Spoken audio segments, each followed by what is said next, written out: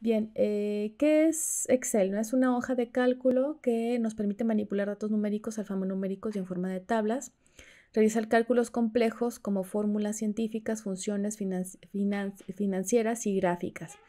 Hay que dar forma a todas las columnas, a los números, se calculan totales, promedios, porcentajes y presupuestos. Dentro de las columnas tenemos 16.384 columnas. Podemos crear este, 1.048.576 filas. Podemos hacer 255 hojas y sabían que una hoja de Excel, bueno, un archivo de Excel equivale a un libro, ¿no? Y tiene 255 hojas. Tiene, podemos escribir en una, en una celda 32.000 caracteres y en los datos de la celda podemos agregar texto, números y fórmulas. Bien, ¿Cómo está conformada una celda? Cuando les diga, vamos al cuadro de nombres, ya saben dónde está, está aquí en la parte superior. Eh, fórmula, aquí también va en la parte superior izquierda, encabezado de la columna, aquí es el encabezado de la columna, A, B, C, D, E, y encabezado de las filas 1, 2, 3, 4, 5, 6, 7. Ok, cuando se selecciona una celda se le llama activa y es un cuadrito aquí que está oscuro. Y tenemos las líneas de división, ¿no? Que son estas que están aquí, también podemos habilitarlas y deshabilitarlas. Bien, ahora las formas de puntero puede ser de esta, de esta, manera que es para seleccionar un rango, de esta manera para seleccionar varias, varias este, celdas. Conforme van, pasa el Excel van cambiando ¿no? los formos de la herramienta de mover.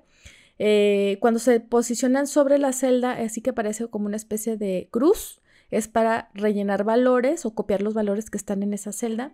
Luego se ingresa o edita datos, ¿no? El cursor, línea vertical dentro de la celda, ¿no? Para que podamos escribir, que titila. Luego tenemos el redimensionar la columna, que es, eh, nos ponemos sobre la flechita y podemos hacerla más grande o más pequeña. Redimensionar la fila, esa es la columna. La fila, que es 1, 2, 3, 4, 5, ahí podemos hacerla más ancha o más alta. Y bueno, copiar y, pegar formatos del documento con, un, con, un, con una X y una, una, este, una brochita, ¿no? Bien.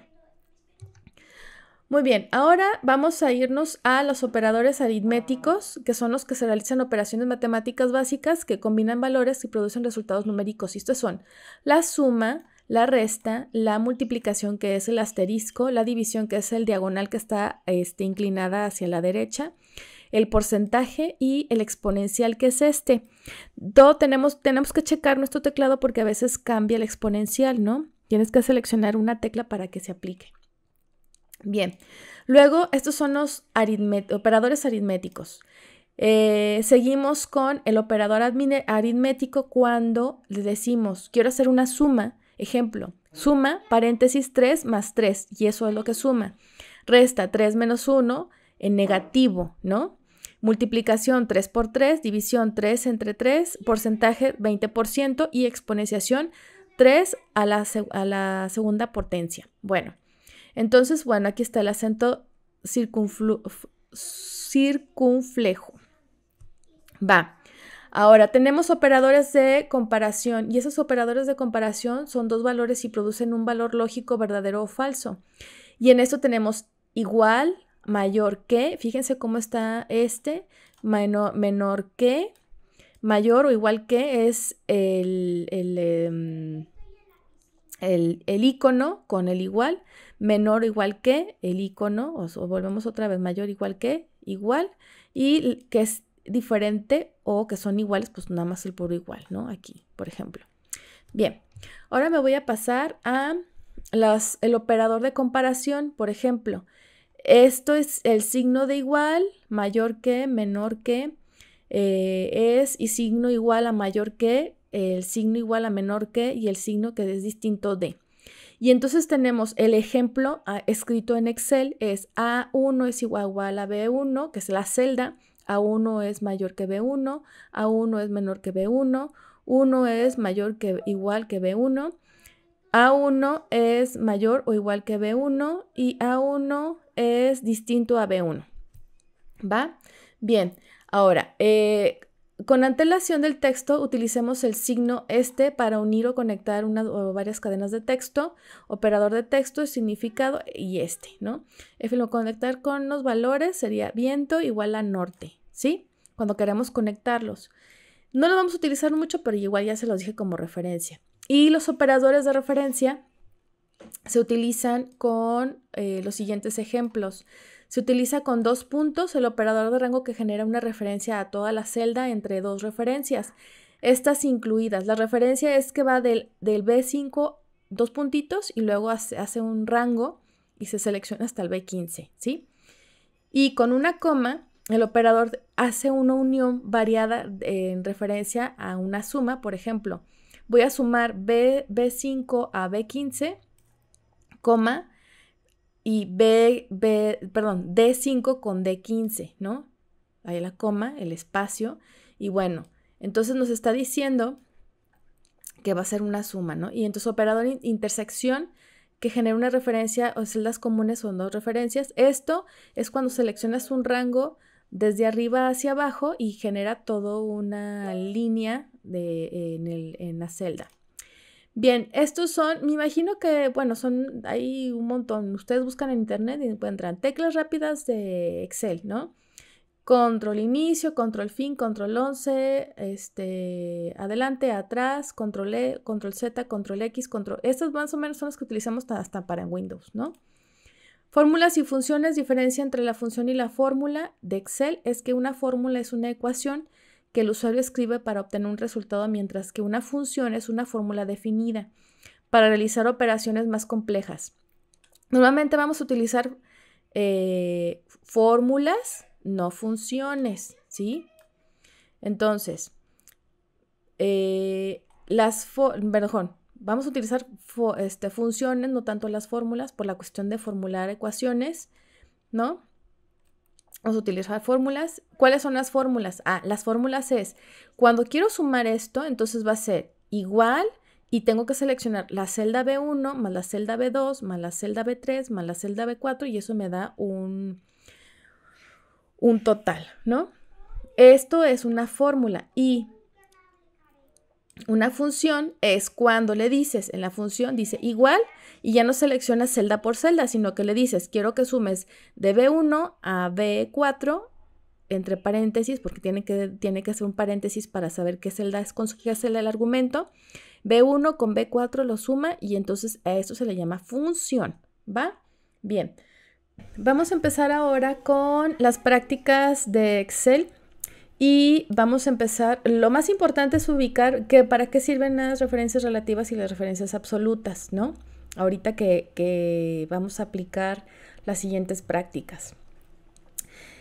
Yo les voy a acompañar la práctica 1, la práctica 1, la práctica 2, la práctica 3, la práctica 4 y en la 5 ustedes se van a hacer pelotas, ¿no? Esta es la que van a hacer ustedes solitos.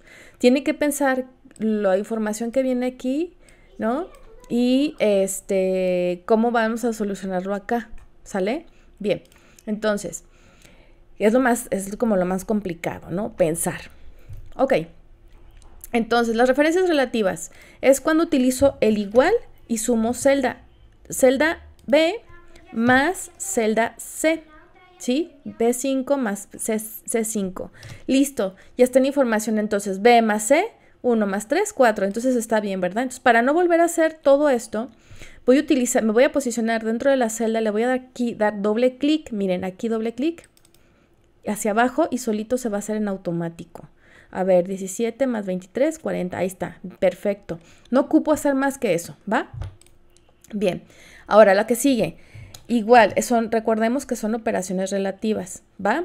Igual, eh, B menos C. ¿Va? Enter. Ahí está, menos 2, ¿no? Porque esto no le puede quitar esto, entonces queda un negativo. ¿Sale? Otra vez clic, ahí está. Entonces este menos este, menos 2.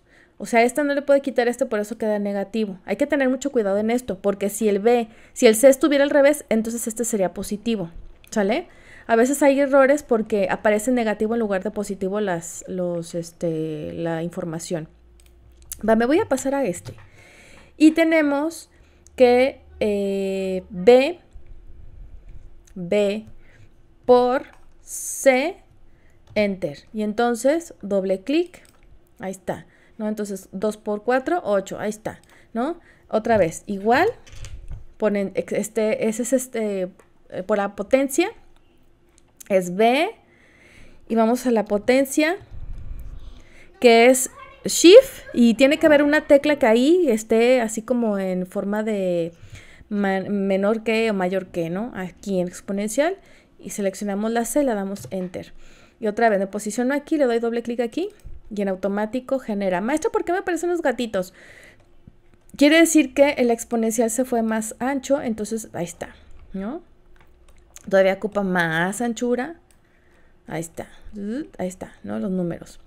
Bien, el que sigue, B es mayor que C. A ver, B es mayor que C, pues aquí va a estar negativo. Entonces, vamos a poner igual.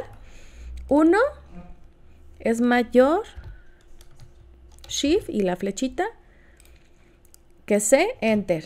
Es falso. ¿Va, va, va, a aparecer falso? Sí. O positivo o verdadero, ¿no? A ver, 5 es mayor que 1, verdadero. Ahí está. El que sigue igual. B es menor que C, verdadero, ¿no? Ahí está. Tu doble clic hacia abajo. Ahí está. Listo. Y igual B es igual que C, falso, no es mentira. Ok, entonces ahí va a aparecer en Excel si es falso o verdadero. El único que es verdadero es de 11 más 11 si es igual, ¿no? Va, me voy a pasar a la siguiente. Ok, volvemos a hacer, ahora, lo, ahora no es lo mismo, ahora son referencias, pero son absolutas. ¿Por qué se les, llama, ah, se les, llaman, se les llama en absoluto? Porque estoy utilizando esta celda más otra celda que está aquí y la idea es que no se va a mover. ¿Va? La idea es que no se va a mover. ¿Por qué no se va a mover? Porque si se mueve, entonces me va a cambiar la información que está aquí.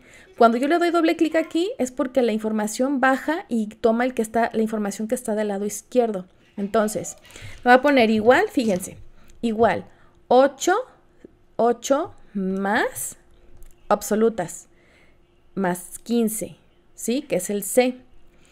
Pero si yo, le, si yo me voy hacia abajo con la información, quiero que chequen la, la fórmula. C10, ese sí está bien, pero el L10 no, porque acaba de moverse esta hacia abajo. Entonces, ¿cómo hago? Está mal, entonces. ¿Cómo hago para que esta información de la celda que es en el C, aquí en la información del C15, que es el L9, no se mueva, ¿no? De aquí de mi celda. Ah, ¿cómo lo voy a hacer? Ustedes tienen este, en su teclado una función que se llama F4. Si la apretamos aparecen signos de pesos. Si la vuelvo a apretar, solamente ve aplicado para que no se mueva en el, en el 9, que es las filas. Si vuelven a aplicar es para que no se mueva en las columnas y si lo vuelvo a aplicar se quita otra vez. F4 una vez, te bloquea esto y te bloquea esto, no se mueve. Aquí es para que la celda no se mueva, ni hacia, ni hacia arriba ni hacia los lados. Entonces voy a utilizar F4 aquí, ¿va? Listo, doble clic. Ahí está, entonces, a ver, 17 más, aquí checamos, más 15. Perfecto, ahí está, miren, ahí está la información. Listo. Ahora me voy a pasar a la siguiente. Igual, ¿no? Es B menos D. Aquí está el D. Vamos a aplicar F4. Listo, le doy Enter. Y ahora sí, me voy hacia abajo, doble clic. Ahí está. A ver, 5 menos 20. No se puede, ¿verdad? No puedo quitar, ah, no es cierto. 5 menos 10, no se puede. Entonces, ¿qué va a suceder? Pues me pone menos 5, por eso es, es negativo.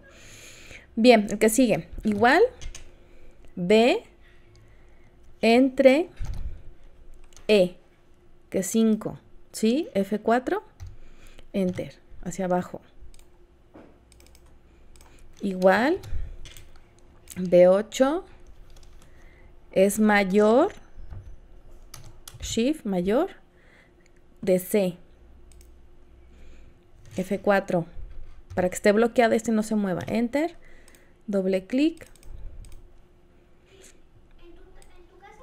Ahí está verdadero. Aquí otra vez igual. B menos D. F4.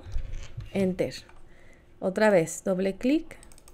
Ahí está y igual B es igual a E. ¿Sí? Perdón, a E. Acá E. F4, Enter. Ahí está. Listo, un poquito más hacia acá. Porque aquí, si es igual, 5 eh, más 5. Ay, déjame ver dónde. Aquí está. 5 más 5 es igual a 5, pues sí, 5 va a ser igual a 5. Aquí está, ¿no? ¿Verdad? Perfecto. ¿Qué sigue? Bien. Aquí ya se fijaron qué estamos haciendo, ¿verdad? Esto se los voy a dejar que lo contesten ustedes. No me voy a meter.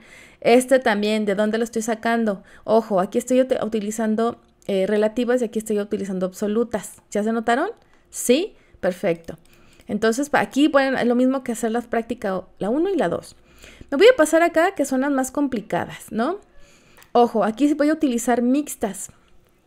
¿A qué se refiere con mixtas? Quiere decir que estoy utilizando fórmulas absolutas con las fórmulas relativas mixtas, porque estoy utilizando las dos. Entonces, fíjense lo que voy a hacer. E va a ser este igual y voy a utilizar 0, es suma, 0 más 1, ¿no? Enter. Si lo jalo hacia abajo, voy a tener aquí un error porque 4 más 1 no da 7. ¿Qué está haciendo? Está tomando el que está arriba. Entonces tengo que bloquear, tengo que, hacer que el 3, perdón, que este se quede bloqueado y no se mueva hacia abajo, ¿vale? ¿Cómo lo bloqueo? Utilizando el F4 una vez. Me voy a acercar aquí para que lo vean.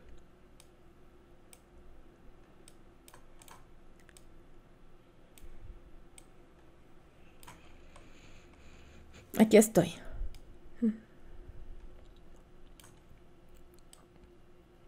Entonces, esto está mal, ¿no? Esto está mal porque 2 más 1, pues no, está mal este. Entonces, ¿cómo hago? Ok, este lo bloqueo, este bloqueo para que no se mueva. Fíjense, aquí ya, ya está bloqueado para que no se mueva. Y cuando lo jalo hacia abajo, pero vamos a tener aquí un error. Cuando lo jalo hacia abajo, 1 más 2, 1 más 5, ahí está, 1 más 4, 5. 1 más 6, y bien. Ahora, no quiero trabajar mucho, entonces fíjense lo que voy a hacer. Puedo hacer esto y jalar toda la información hacia acá. Pero ¿qué creen que hice? Como yo le dije que bloqueara esta parte, que no se moviera para mi derecha, o sea, mi derecha quiere decir a las filas, que se bloqueara, entonces esta parte no se va a mover. ¿Qué va a pasar? Que necesito que, se mueva la celda. ¿Cómo hago para que se mueva? Le, di suprimir, ¿eh?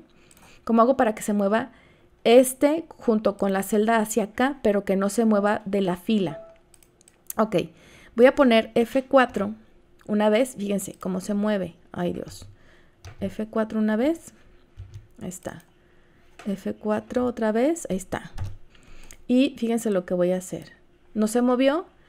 ¿Qué está bloqueando aquí? Si se fijan lo que está bloqueando es la fila. La fila es la, la fila es la 5, la que está bloqueada, que tiene el signo de pesos.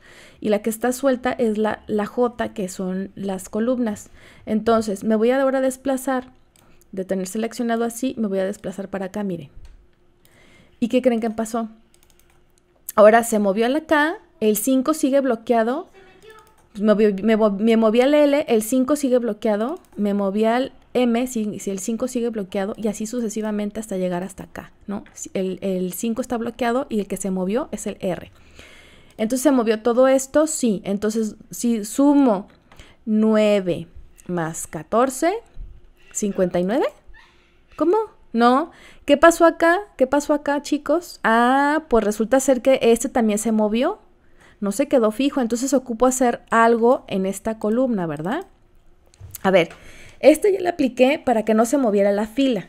Ahora necesito hacer que este número se bloquee para que solamente se, mueva la fila, pero no se mueva la columna. Entonces voy a utilizar F4. Ahí es todo, ahí no se mueve. Si le pongo este que bloquee la fila, va a aparecer como este, ¿no? No se va a mover en la, no se va a mover eh, en la fila, en la fila no se va a mover, pero se va a mover por las columnas y lo que no quiero es que se mueva por las columnas. Entonces voy a ponerle F4 otra vez. Ahora me va a bloquear la columna, pero se va a poder desplazar por las filas. ¿Se fijan que no tiene bloqueado la fila? Perfecto. Esa es la fórmula, ¿no? Entonces selecciono aquí, jalo hacia abajo, ahí está bien. Y luego de aquí, jalo para mi derecha. Ahí está, ahora 14 más 9, 23. Listo. ¡Eh! ¿Y cómo creen que se vaya a hacer aquí? ¿Eh? Ah, pues parecido acá arriba, ¿cierto? Bien, esas se las voy a dejar a ustedes. Ahora, me voy a pasar a esta, ¿no? Bien, aquí qué debemos de hacer? Aquí me van a poner eh, sus apellidos. Yo, por ejemplo, me, me llamo Gómez Pérez, ¿sí? Gómez, ay, Gómez Pérez. Y lo que voy a hacer es que aquí dice realiza rápidamente una serie consecutiva. Ay, no me voy a acercar con este, me voy a acercar con este. ¿A qué se refiere con una serie consecutiva? Que yo puedo poner, por ejemplo, Gopa, ¿no? 1, ¿sí? ¿Y a qué se refiere con la serie consecutiva? Que miren, Gopa 1, Gopa 2, Gopa 3, Gopa 4. Quiero que me pongan, por favor, de sus apellidos aquí y otro apellido acá. Bueno, aquí más bien sería Gope, ¿no? Gope. Dejen borro todo esto. Este retroceso.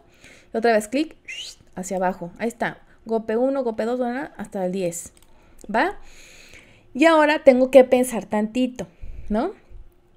Voy a utilizar matemáticas y para utilizar matemáticas, pues bueno, lo primero es, tengo que eh, aquí colocar el formato contabilidad, primero formato contabilidad, selecciono formato de contabilidad, me voy aquí a la barra de arriba y busco contabilidad que da punto cero y me da el signo de pesos. Eso tiene que estar activado aquí. ¿Dónde más? Darle formato de contabilidad y dos decimales y el símbolo de pesos. Aquí. Mm. Eh, contabilidad y este signo de pesos, ¿no? Se supone aquí.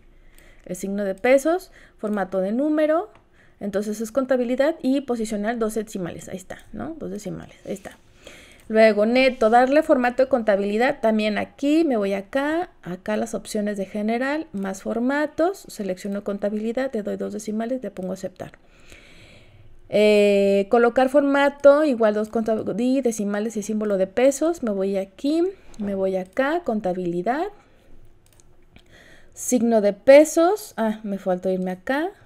El signo de dos decimales y pesos. Ahí está, listo. Y igual aquí el formato, ¿no? Más números. Contabilidad, dos decimales. Bueno, el signo aquí de, de pesos es mexicano. Aquí español, México ¿no? Aceptar. Igual acá, ¿no? Creo que era lo mismo, pero vamos a, vamos a corregirle, no vaya a ser que nos diga que no es signo mexicano. Ahí está. Listo. ¿Va? Ahora lo que vamos a hacer es... Eh, bien. Ahora lo que vamos a hacer es la información. Aquí este precio del borrador tiene un descuento del 8%. Si utilizamos matemáticas, disculpe, pero vamos a tener que utilizar matemáticas, no se asusten, no pasa nada. Y para utilizar matemáticas es, tengo que, tengo que multiplicar el punto 8, ¿no? Punto 08 por el 18 para que me salga el, el descuento, ¿no? Pero ¿cuánto sería ese descuento? Entonces, eh, tengo que generar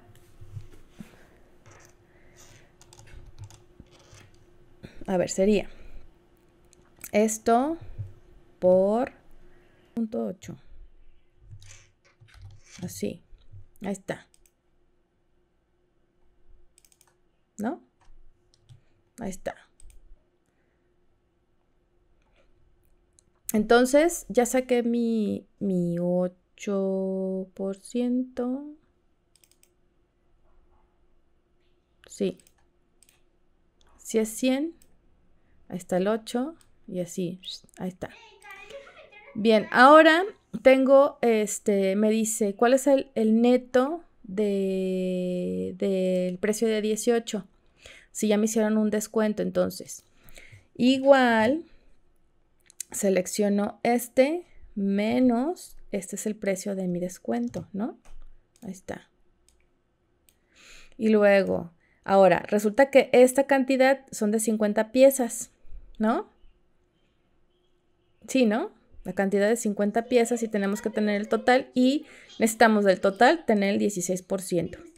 Entonces primero voy a sacar el total, ¿no? Que son las, las piezas por esto para saber cuánto es, es el, la pieza y después de sacar la pieza lo siguiente que tengo que hacer es sacar el 16% entonces es esto por el es más hasta le puedo poner aquí no F4 y listo.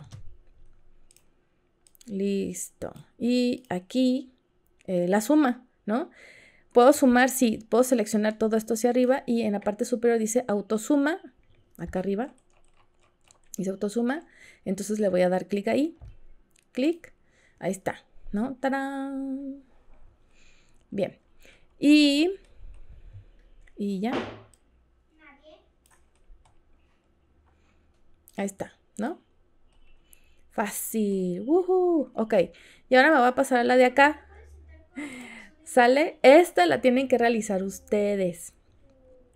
Eh, ¿Por qué? Bueno, aquí, así como lo hice yo acá, de que utilicé este y luego saqué la información de acá, más o menos aplica lo mismo, ¿no? Eh, hay que leer, ¿no? El, subtotal y el total, el, el, total, el subtotal y el total. Eh, aquí tendremos que sacar como el, IVA, porque pues bueno, esa, esa parte, ¿no? Pero bueno, Em,